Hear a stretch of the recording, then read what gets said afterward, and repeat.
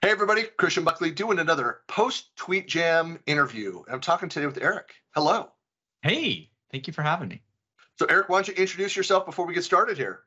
Excellent. Happy to. Hi, everybody. My name is Eric Overfield. I am Chief Product Officer of Pixelmill and Creospark. Uh, also a Microsoft MVP in the, what's it called now? The Microsoft 365 apps and services. Apps and space? services, yes. I always get that Yeah. wrong. Yeah, because it used to be Yeah. O365 and it was so ran off the tongue. I'm also a Microsoft Regional Director and um, you know, love doing what I can to share what I know to help anyone who's willing to listen to me, um, hopefully achieve more success with their M65 Azure Microsoft based deployments. Cool stuff. And I know that, and Eric, you're also a longtime participant in a lot of the Tweet Jams. And, Oh and yeah. this was this is a topic where we have had many a discussion around this, uh, uh, uh, specifically on this topic. And this goes back to where we started talking about something similar to this was when uh, I did as collab talk, I did that independent research looking into on-premises installs, and that Yeah. was five A years ago now. ago. Yeah, yeah. Um, so lifetime. why why do companies why do some companies struggle with moving to the cloud was the topic. So let's jump right in and your Sure. thoughts on each of these. So what are the most common challenges for companies that have not yet moved to the cloud? Well, I see it as like just generally, uh, if, if definitely they haven't started yet, is how, how to get started. Like, what, what what am I moving? What am I supposed to do? Supposed to do? Like understanding what's even possible. Uh, the cloud is immense, and it has Microsoft 365 like services. It has the Power Platform like services. It has Azure, which is hundreds of different things you can do there. So it's like, what do we do? What path do we take? What do we move? Do we move this first? Do we move that first? Like, how do we integrate it? this is like freaking me out, but just like saying it all. Like, you know, do we go all or nothing? It, it's all of those. Like, basically, though, how do I get started and where am I supposed to go from here? What's even possible? The art of the possible. Now, are you seeing a lot of uh, your customers that are are now starting to make the transition? Are they limited in some of the f- capabilities that they're able to perform if they're still on prem? Are they are they hitting kind of limits where like, hey, we need to kind of move this direction? Oh yeah. Uh, so fortunately, a lot of clients have already started. If not, I mean, basically everyone's on Teams. So in a sense, you're in the cloud or you're somehow in the cloud. But there are still many legacy services, including ones that were built on SharePoint like 2003.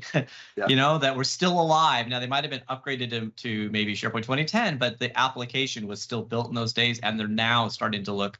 What can we do? What what is this whole cloud thing even gonna even gonna look like? And it is uh, it's a fun conversation for them because they might have Azure, they might have AWS, they might have these different cloud services, but the people we talk to don't have the actual administrative access to it.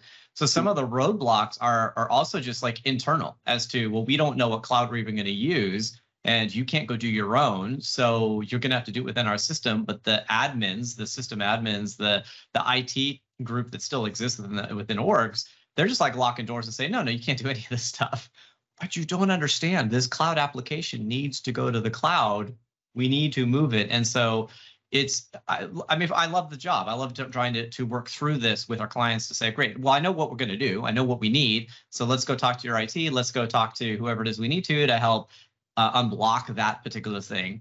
Another component, though, another answer to that same question is going to be just that the existing on-prem system, the custom code, the solution that was built Uh-huh. should not be lifted and shifted to the cloud.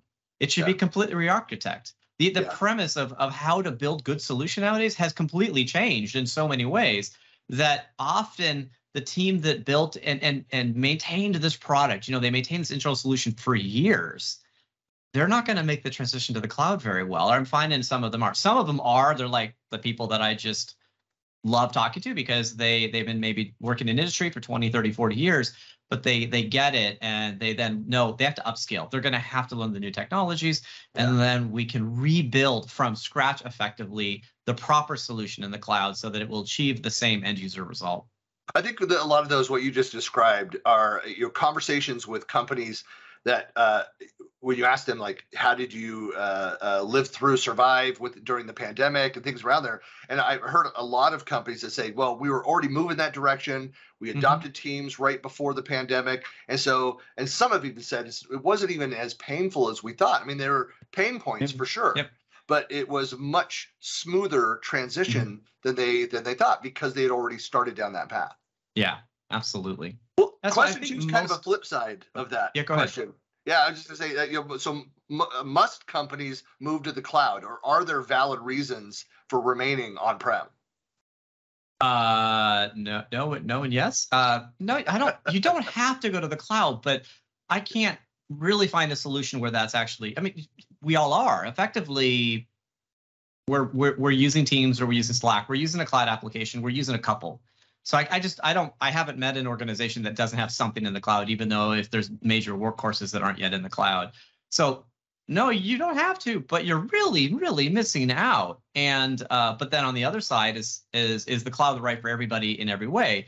And and no. And there was an interesting article that that just came out. Uh, so Basecamp, which has been around for a really long time, um, they one of the people who works there, I don't know him well, but I just read this article about it. His name is David Hansson, and he wrote an article about why Basecamp is actually moving back to on-prem they found that with a stable environment that didn't need, need some of the cloud features of being uh, infinitely scalable or something where they knew their growth trajectory and they were able to make they, they knew what they were what the services they were going to need. They're actually going back to on-prem where they're going to run their own data centers because they found great cost savings in in if they did it themselves. Mm.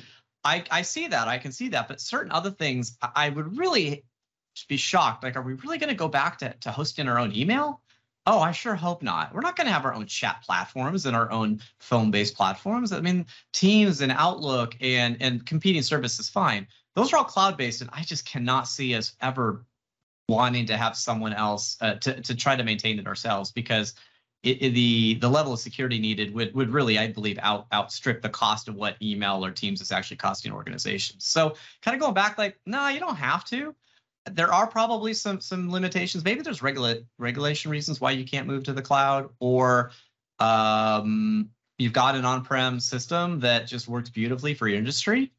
It's not a bad thing. Maybe I know maybe it's worthwhile putting into a data center if you haven't done that yet and maintaining it. I I don't. It's not necessarily a bad thing. I just I I, I don't think it's right for most organizations. I mean, even uh, the DoD is saying no, no, we're going to the cloud, and they gave Yeah. that huge JEDI contract a couple of years now. I, I think it's in turmoil and stuff, but and even the government's realizing it would probably be useful for us to just go ahead and scale a, a bunch of our stuff out into the cloud, and and it's more than safe and secure. And, and to an earlier point you made is that there's a that most organizations are probably not even aware of all the cloud services that their Yeah. Oh team yeah. members, their employees are using. I mean, that's another that's a different conversation in, in itself. But uh, again, a lot of what you know we rely on. Um, I, uh, again, go and do an audit of that. I think it was uh, was it Gartner and or Forrester. I don't know one of the big uh, you know uh, firms that analyst firms that did a study and it came it was like over 150 applications that are active within the average organization. Uh, cloud I service, cloud services. It's believe just it. crazy. Yeah. Uh, one of my clients, they're very large pharmaceutical. The amount of applications that they know about is is astronomical, in my opinion. I mean, it's a lot. Now it's Yeah. global organization, lots of things, but it how do you keep control of that?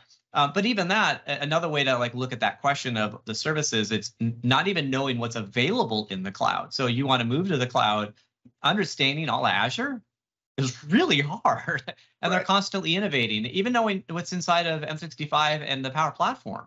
These Yeah. are great power tools, but to stay on top of it is it's still impressive the amount of updates that Microsoft has been pushing over the last year alone. I think it, you know, well over 100 improvements to Teams or something. And I Uh, don't quote me, but it was publicly it- said at Ignite. It was It's- 450 was the number. Thank you. It, it, it Yeah. was.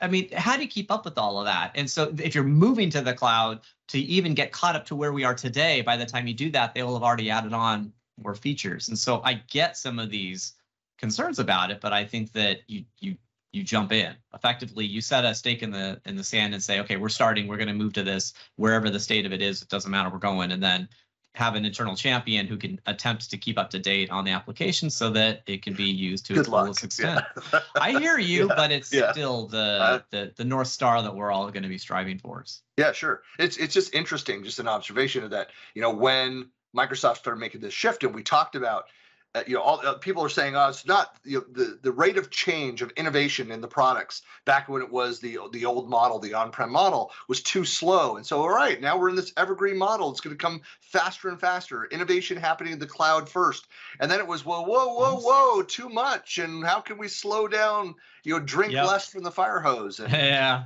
It, it's funny too, and yet we still complain that it's not innovating fast enough. Yeah. Right? We're missing features that we need, and it takes time. Yep. So it's it's a fun uh, paradox, shall we say? So, question three What are the Mhm. major and sometimes hidden costs of cloud migration?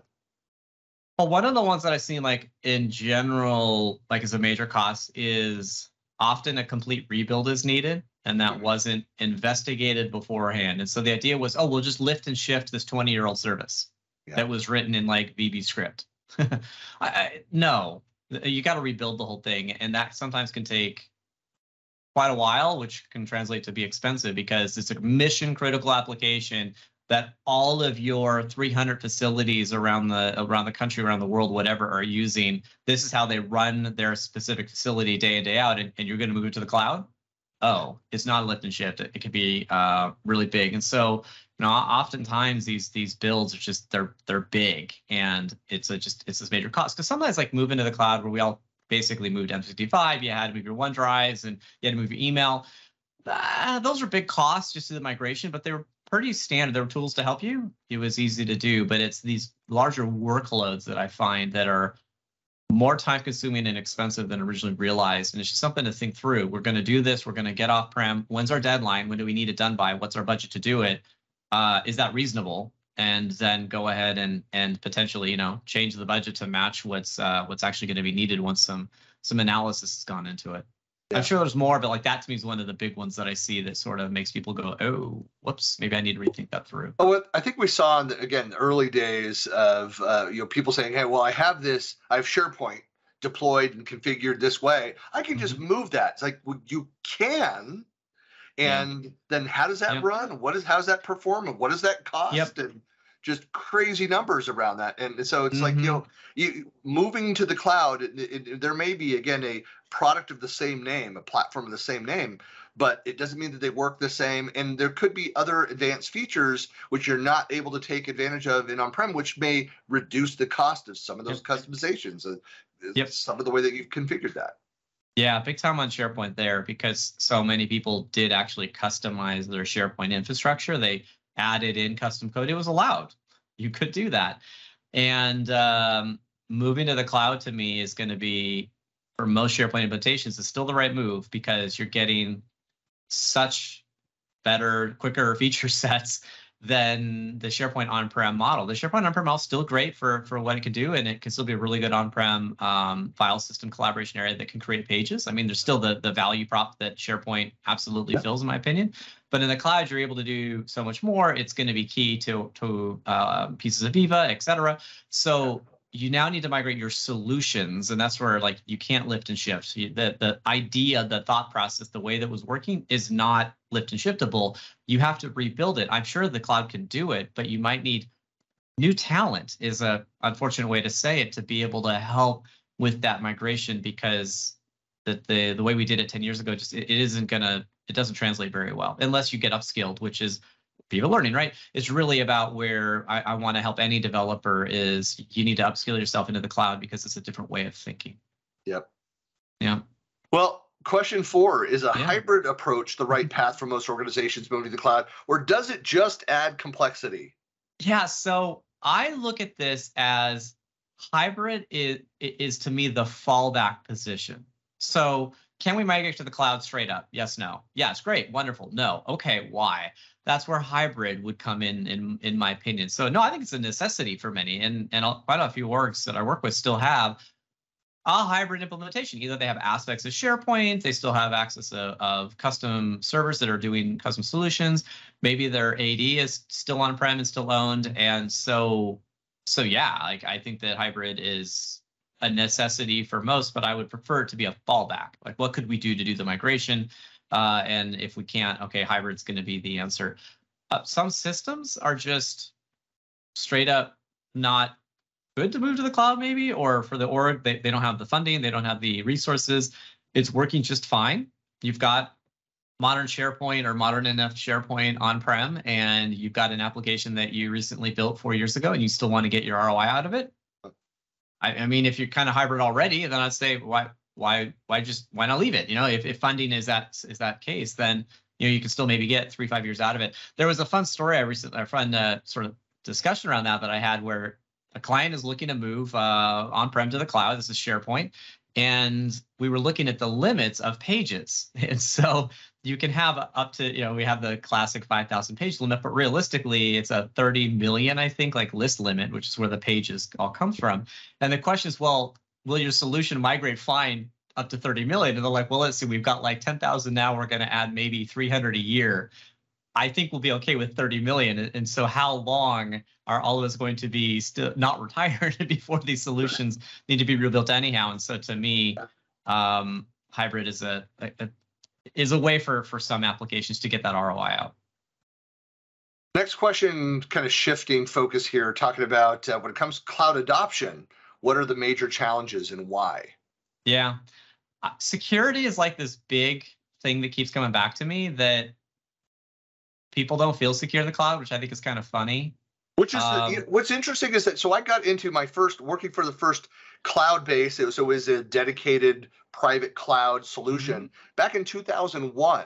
And when I was talking with customers back then, all of the uh, you know everybody I spoke with was concerned about moving their data out there and losing control, but mm-hmm. security was the number one topic yeah, in 2001. Yeah. Here we yeah. are, 2022, still the number one concern there.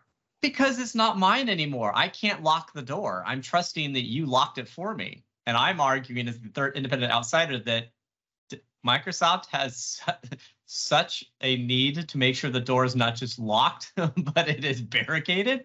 Because if anyone were to get through their system, they've now lost billions of dollars of revenue instantly. So I, I think it's funny, but I'm still hearing it all the time. Uh, and the other one that's close to that, to me, is close to that is data location. And I guess I've since I'm in the states, I am a lot of my clients in the states. It's normally like I, I don't really care. Our data's here. It is. It's it's the the U.S. jurisdiction uh, takes effect. But um, I mean, part of my company is in Canada, and when I talk to some um, Canadian customers, they don't want data in the U.S. because the U.S. laws can be a little stringent. If you're if the data comes to the United States, they can subpoena it, and that just gets creepy and weird for a lot of things. So uh, and, and, definitely you look at the other clouds in, in, Germany and China and elsewhere. I mean, where the data is located is a huge concern to a lot of people. They don't even want it out of their state. I mean, they they really want it locked down because they don't want to have to deal with any of those uh, those things. So I'm sure there's more. I mean, there's just legacy systems like how do you migrate them, but those are two big ones to me. That the challenges that people run into is, is security and just like location of data. Yeah, and I think uh, you know, kind of like we've talked about in the the the, the upskilling of, uh, of yeah. personnel as well to make sure that people are up to date on the latest and how to take advantage of that capability. I mean, that's another thing that impacts the adoption. If if organizations just aren't ready, they don't have the personnel to go and do that. They don't have the budget to go and mm-hmm. hire on the outside to do that. That could be a concern as well. That could slow down adoption. Yeah, yeah. And then there's just the you know the other aspect that the around adoption is just that uh, you know people tend to do the things that they know that they're that yeah. they're used to, and so yeah.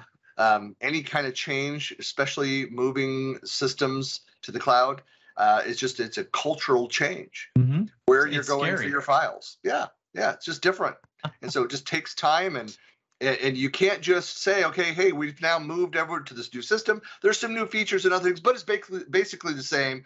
Yeah. You know, here here's some uh, uh, Q and A that we've provided, some FAQs. Here's where you go for stuff. Good luck. Like no.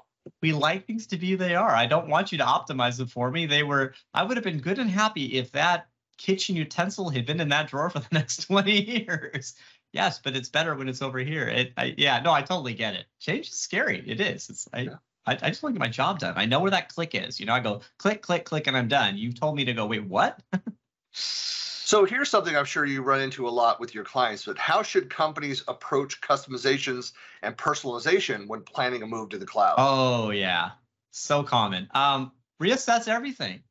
Like this is a big deal. And moving, especially because when you were on prem and let's just take sharepoint but there's so many things you can do around outlook or uh, within how you did um, um, uh, Lync and all that up, moving on into uh, yeah, well, the teams and stuff. But this is the time to reassess the way you're doing things and, and why you were doing it. What was the purpose and the value of that of that customization or that personalization? Now personalization to me is important um, but the customization is a little bit more like, well, was that customization really required? Did, did Microsoft already release a tool to help you do that so that you don't have to rebuild it and and and maintain some extra service that only gives you that other little little bit?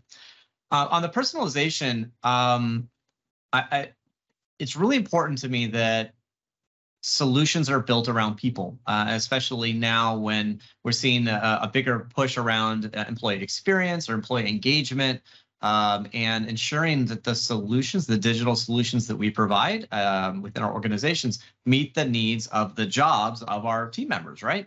And so these systems and solutions should be personalized. Well, within things such as SharePoint and Teams and others, Yammer, they can be personalized so that they provide an experience that's somewhat unique and tailored to each individual user. So you have to figure that out though. Yeah. What you were doing before may not be the right way. You got to do a reassessment of where are you? What's available? What is it that you're trying to do? Ideally you're talking to someone who's been doing this before internally or externally. I mean i don't want to say the only ways with consultants but uh, certainly having an expert or, or someone who's been playing with it. If it's all internal uh, being able to give that internal champion or that internal leader the time and the expectation they've got the time to go and play with the tool, to go to sessions, to listen to, to videos, to upskill, to then build POCs so that they can say, hey, these are the things that Microsoft said we can do. We can build this personalization. Here's a demo of it in practice so that we can say, is this enough for the org? And if it's not, do we need more training, et cetera. Generally, though, like I, where I see it is, uh, the approach is that you're going to be probably re-architecting to the modern digital workspace. I mean, Viva, let's just take yeah. Viva. You're moving to the cloud. That's a whole new way of working, and it's going to make us change the way that we're interacting with our digital systems. It's requiring a re-architecture. Re- requiring. Do you still use the phrasing? Do you use the term uh, of uh, of digital transformation?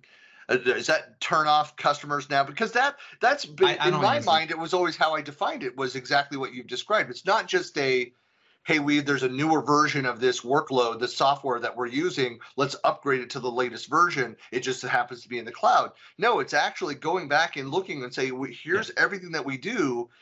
And we may move and it may function, you know, two thirds of it the same way in the cloud, but a third of it, maybe we don't need it at all. Maybe it's fundamentally changed. Yes. And so we have to go and evaluate everything and then look at okay what is different? Are there new ways improved ways of doing it? Yeah. and what are we how can we leverage maybe we customized we personalized but now out of the box allows us to do 80 90% of what we customized. So we don't yep. need to go through all of that customization. We can get most of what we want. Is that good enough? Do we need to add to that? But that's yes. part of that transformation activity. I just know that people grimace sometimes when you use well, that phrasing, but digital transformation i mean uh, to me kind of down to, to non-technical words was can we take that piece of paper and form that we used to send around the office with signatures can we digitize it? I know it's a lot more detailed than that but that's a big piece of it and i think the pandemic just the lockdown fixed that. A lot of digital transformation has already occurred but then there's the digital transformation of transforming the digital solutions we have. So i just don't I don't. It's not part of my general vocabulary. To me, yeah. it's much more around um, the employee experience, employee engagement with the digital workspace because to me that's what we're doing. But it may also be, you know, my client mix has already been doing that sort sort of thing. So uh, when they come to me, they're already are they have digital tools. They know they're going to be digital. Therefore, they just want them to be more effective for the end user at the end of the day, all of us are building and delivering tools to organizations. Those of us that are, you know, in this field, we're delivering digital tools to organizations where the workforce is using those tools, not because they. this was a Sue Hanley quote. People don't come to your intranet with a box of popcorn and say, "I wonder what's on the intranet today. Let's go look, flip through things." Like, no, that's not what they're doing. They're attempting to do their job. They just got to get their job done, and they need those tools to to deliver for them. And so, uh, but they should then be personalized. I mean, going back to your question, and I would prefer to see, as much as I'm a developer, I'm a nerd, I love coding, I would certainly rather see out of the box solutions be used because you're going to be able to leverage more of the tools that Microsoft's going to be baking into the product, i.e., baking into the license. And um, I think that's going to provide just a general better ROI. And as more as new features come out, then they'll likely Correct. just integrate right in, and you're able to then Hopefully. trial those and yeah. Hopefully, that's always yeah. Well, the last question here, I always like to add in something around planning, and this goes back to just Oh, that yeah. that part of my experience. But are there risks of starting a cloud migration without a fully developed plan in place? So, what are your best practices around planning? Besides completing an Armageddon and failure and you Yeah. losing your job, uh, which is not is a joke, but it's not. Yeah, I mean it, it can be a complete disaster. But one of the things like I would go back to is security.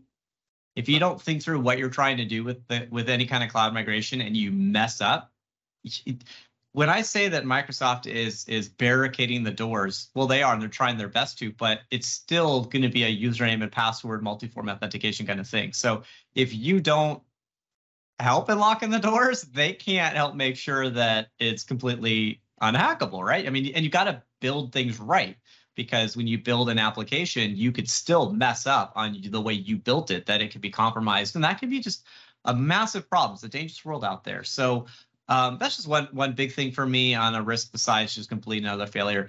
I, I, on the other side of the question was like, what's the best practices that I like? I prefer a measured approach. Uh, I'm not necessarily a big fan of let's take 50,000 or people and let's take 500 services and just ship them all to the cloud and go. I think that I think it's a mistake. I think a measured approach, uh, which kind of would get back to the hybrid, but I almost think for a lot of big orgs that's sort of a necessity. Smaller orgs, no, you can just do it. You kind of lift and shift all your stuff, shut down all your servers. You might be okay. So measured as well as uh, building POCs, building proof of concepts, trying out these new features. When we're going to do our shift from SharePoint on-prem into the into the cloud, we're going to move a massive workload from SharePoint on-prem into SharePoint Online.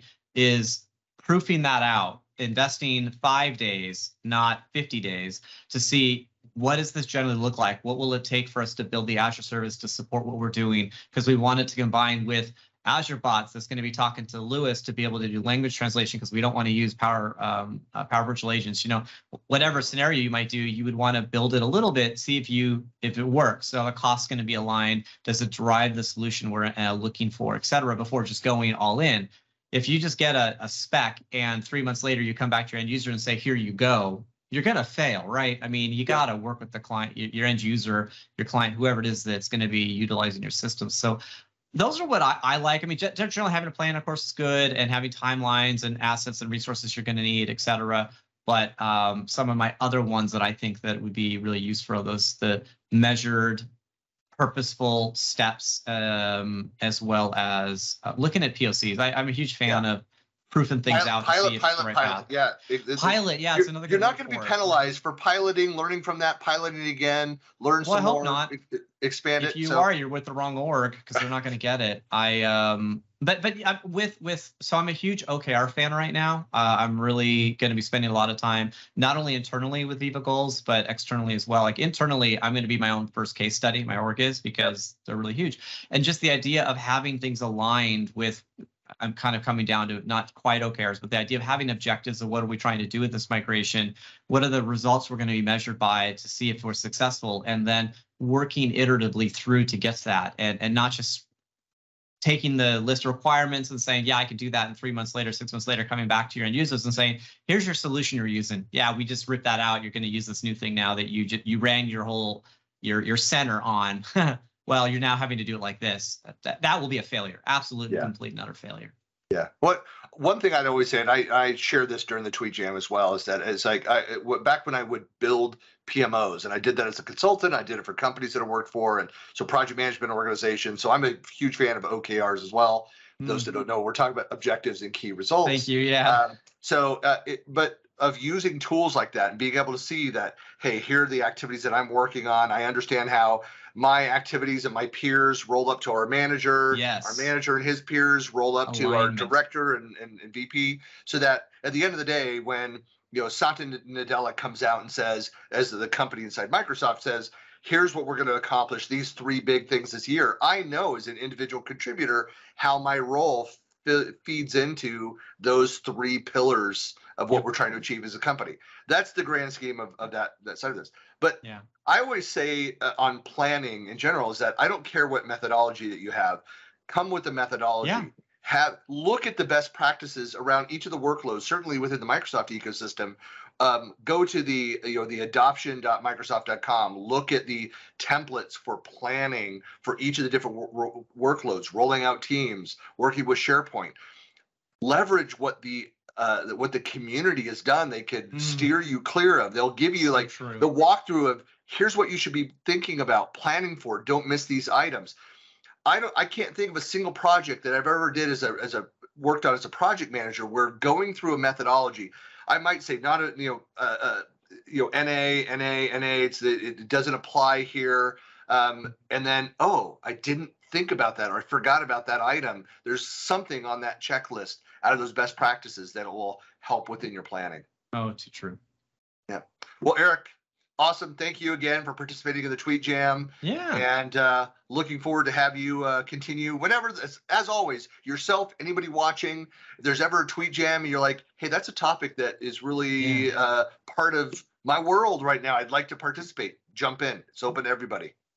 Yeah, and and uh, thank you, Christian, for hosting them. I mean, you've been doing this for for maybe a few months now, and 11 years. I Yes. know, and and the topics, it's it's impressive the topics you come up with and your questions. I I can't even think of one where I wasn't like, that's a really I hate to use this phrase. It's a really good question. I think most questions are good, but like, wow, that's a really pertinent, like really insightful, and the responses have been just simply amazing. So no, thank you for, for I, doing that. I love one that going. criticism that I get on some of the questions that I pose is people say it's like, well, that could go any which direction. I'm like, why don't you Right. share some of the direction? That's the point. I know, no, I think that those are some of the good ones where they're very open ended, but they make you think. And so, no, thank you for hosting it and keeping up. And and I I hope to stay with it as long as you're doing it. So uh, when I- when my schedule allows, I really appreciate it. Great to have you. Thank you so much.